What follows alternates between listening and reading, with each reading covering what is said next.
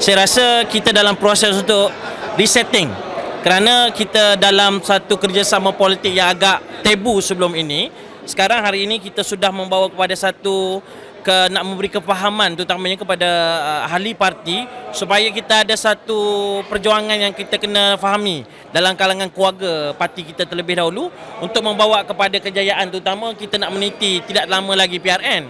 Jadi saya lihat uh, semangat dari segi uh, pergerakan dan perbahasan itu menunjukkan ya uh, semangat mereka itu memang ketara tapi yang penting adalah saya nak uh, uh, di akhir-akhir ni semua perwakilan yang balik nanti mesti membawa kepahaman dan juga mesti memberikan input balik kepada mereka di bawah sana.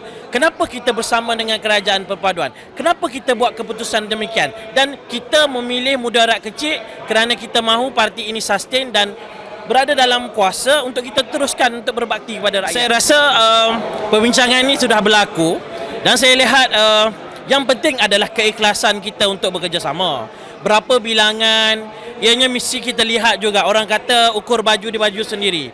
Dan mungkin kita mungkin bertanding agak sedikit di negeri-negeri yang tertentu.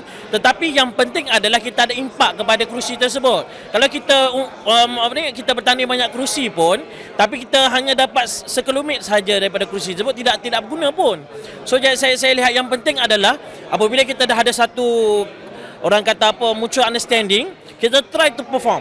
Orang kata by stages lah. Now mungkin kita dapat bertanding sekian. So kita kena pergi dan kita kena pulihkan parti ini dari semasa ke semasa dan kita go bigger and bigger. Uh, saya rasa ini satu gambaran yang baik terutamanya kepada parti kita walaupun dikala orang cakap orang tidak berminat kepada UMNO tetapi yang penting adalah kita mesti uh, memahamkan mereka apa itu UMNO, asas perjuangan UMNO itu apa. Yang pentingnya akhirnya mereka inilah yang akan menjadi bala tentera kita terutama perang cyber, perang media sosial, bidang TikTok ini memang sangat ketara akan membawa kepada kemenangan. Jadi anak-anak muda ni mesti kita berikan kefahaman terlebih dahulu. Jiwa, roh UMNO, self of belonging itu kepada UMNO itu mesti ada. Dan akhirnya bahawa kita boleh bawa mereka bersama-sama untuk memahamkan. Dan yang penting adalah parti politik nak kuasa.